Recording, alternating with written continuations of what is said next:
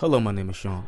Welcome to the channel. And today we're going to be doing something new. I'm going to start a new series within WTF cars, and that's How Real Is It? This is where we go over concept cars from smaller companies where the car might not actually be real. And let me say that I'm not saying that these cars are fake. I'm just saying I don't know how far into production these cars are or if there's an actual car to be seen. That's why we're just playing this little fun game.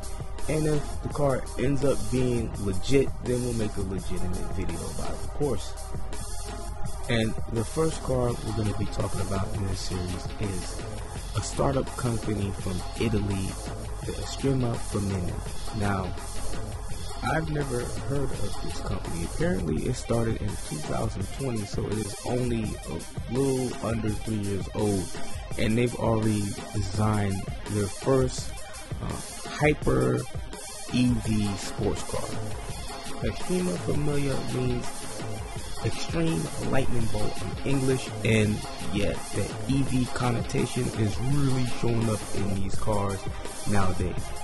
And this car is said to use solid state drives. I haven't seen any car, EV or otherwise, using solid state batteries yet.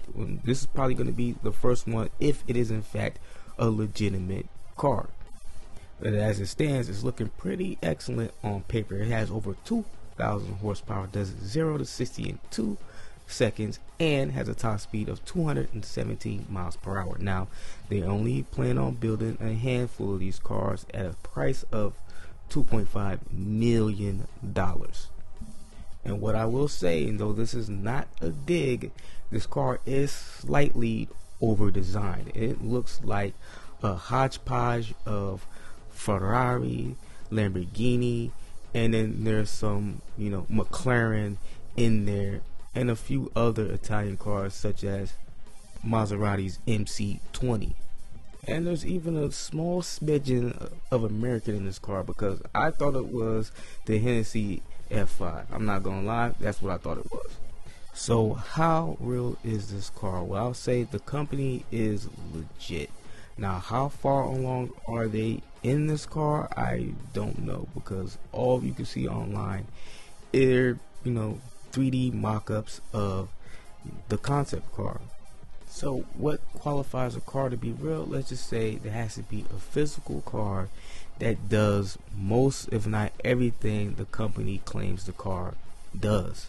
For example, you can't say it's going to be a thousand horsepower EV supercar with a 100 horsepower four banger in it. It's just that makes the car not legit.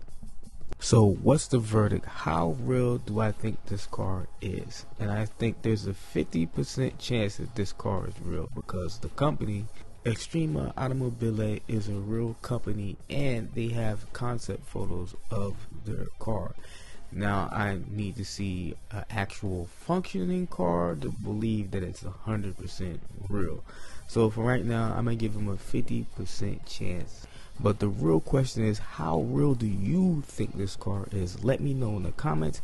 And I'm going to be making more videos like this because there's some really crazy looking concept cars out there that seem really legit that aren't. And there's some that don't seem legit that are, you know, the real deal.